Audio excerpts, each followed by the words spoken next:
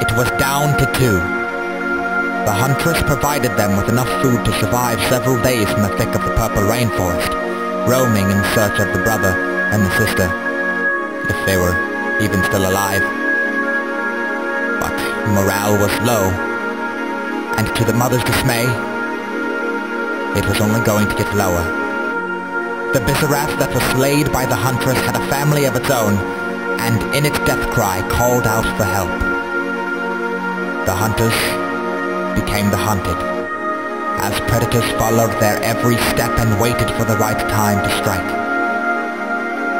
The mother was the easier of the victims, and therefore fell first.